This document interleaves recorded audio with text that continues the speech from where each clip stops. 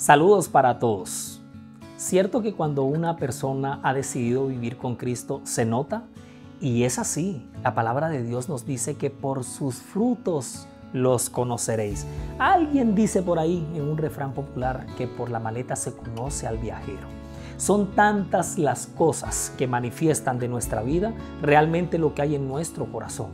Por eso esta semana estos devocionales han manejado un poderoso énfasis un corazón regenerado por Dios. Necesitamos ser transformados. Esa es la más urgente necesidad que hay en el mundo. ¿La tienes tú? La tengo también yo. Todos los días yo debo ser regenerado y transformado por mi Señor. Gálatas 2.20, un versículo bastante clásico, nos dice así. Con Cristo estoy juntamente crucificado. Y ya no vivo yo, mas vive Cristo en mí, y lo que ahora vivo en la carne, lo vivo en la fe del Hijo del Hombre, el cual me amó y se entregó a sí mismo por mí. Por supuesto que el Señor mira lo que hay en el corazón.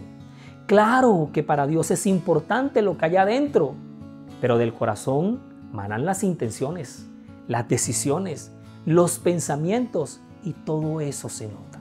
Hay personas que dicen lo más importante es lo que hay en el corazón y anulan todo lo demás. Del corazón emanan las manifestaciones que se pueden evidenciar en los frutos.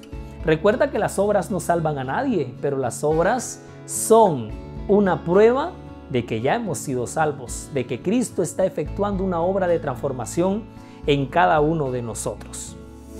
Andar con Cristo se nota. La manera de hablar, de decidir, de pensar, hasta de callar y por supuesto de actuar y miles y miles de cosas más testifican de un corazón regenerado.